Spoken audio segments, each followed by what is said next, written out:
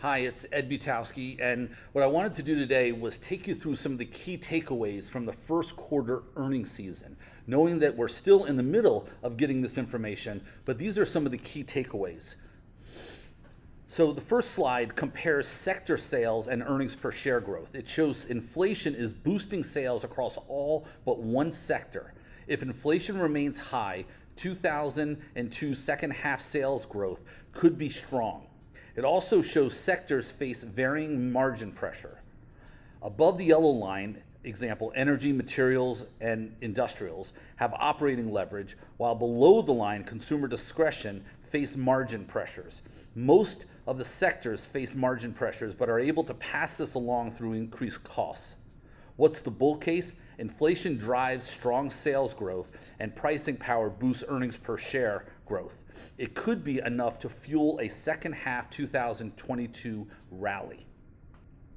This chart compares the first quarter earnings per share beat rate and earnings per share surprises.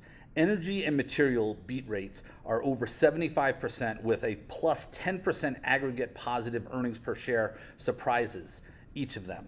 Industrial's earnings per share beat rate is about 90%, but aerospace and defense is offsetting positive earnings per share surprises. Consumer discretion beat is 65% as companies beat a low bar. And that's because of inflation, wages, and supply chain issues. But Amazon's earnings per share miss pushed the aggregate surprise down 36.5%. Notably, growth is seeing much more margin pressure with a lower aggregate surprise, a concern giving gross reliance on future growth. This slide compares fourth quarter 2021 and first quarter 2022 price impact across different sectors. 52.9% of the S&P 500 companies traded higher around their first quarter 2022 earnings, which is identical to the fourth quarter 2021 52%. However, there are some significant changes at the sector level.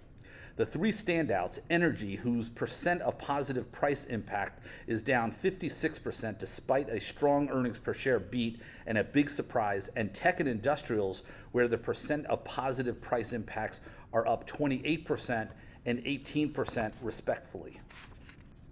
Corporate profit margins are feeling the impact of soaring inflation due to supply chain gridlock and rising commodity prices. This figure shows margin is being mentioned more frequently around the words pressure, compression, and contraction on earning call transcripts, which is a very interesting way of looking at things and looking at and listening to the earnings calls and what they say so often. After falling during the pandemic, talk of margin pressure is back to near a decade high as first quarter 2022 earnings season kicks off. Margin pressures are the driving force behind another hot topic, pricing strategy. this tracks off of the strategy calls the number of times pricing is mentioned within the first five words of strategy. The chart shows pricing strategy talk is well above the recent decade average. It's an indication analysts and investors are searching for companies with pricing strategies and a game plan to handle volatile inflationary inputs and slowing economic growth. In other words, can you maintain margins in a tough macro environment? Inventory restocking and increasing and, and, increases are another common topic on call transcripts. In this slide, it tracks the number of times inventory is mentioned with five words of increase. The chart shows discussions about rising inventories as well as above average compared to the last decade. There are two likely angles here. First, the combination of robust consumer demand and supply chain issues caused companies to lose sales during the pandemic. It was a painful experience, and companies do not want to be caught without enough inventory on hand to meet future demands. Second, the increase indicates that there are probing executives to understand they are probing executives to understand the inventory turnover is slowing and causing inventory to build up. If so, demand may be starting to weaken. In this graph, the change in second quarter 2022 year over year earnings per share growth estimates since first quarter 2022 earnings per share uh, earnings season started. The headline S&P 500 2022 earnings per share estimate is only up 0.4%, but the data shows revisions are diverging. The big takeaway is analysts are increasing earnings per share growth estimates for commodity related sectors. Energy up 45% is the biggest positive on earnings per share revisions, followed by materials, which are up 6%, and industrials up 4%. Utilities are the largest negative revision, down 13%. And uh, earnings per share revision, while consumer discretion, consumer staples, healthcare, and tech estimates are down 1% to down 3%. two notable trends. Financials have the biggest projected year over year earnings per share decline at 20%, and consumer discretion has the third biggest projected year over year growth at 12%, an indication analysts are forecasting strong consumer spending. Now, this one is a little difficult to follow, but give it a shot. Um, the S&P 500 oil and gas refining marketing sub-industry against the WTI 321 crack spread.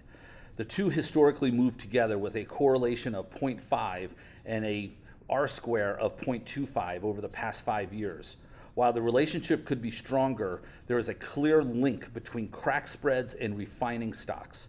A soaring crack spread points to significant upside for both refining stocks and profits.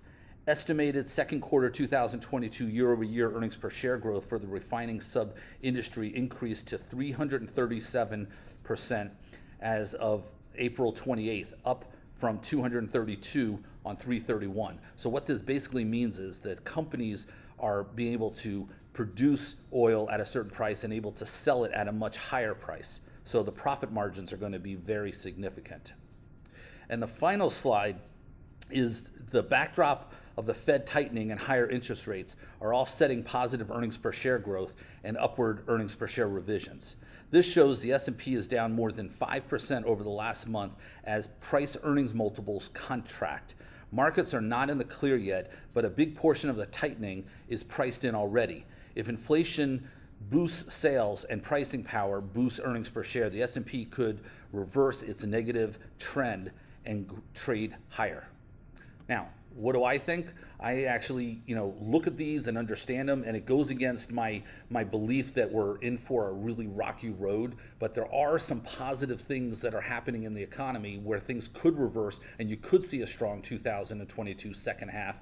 But right now, I'm not a believer in this. Um, but I wanted to share these slides with you, and hopefully, you learned something from it. Thank you.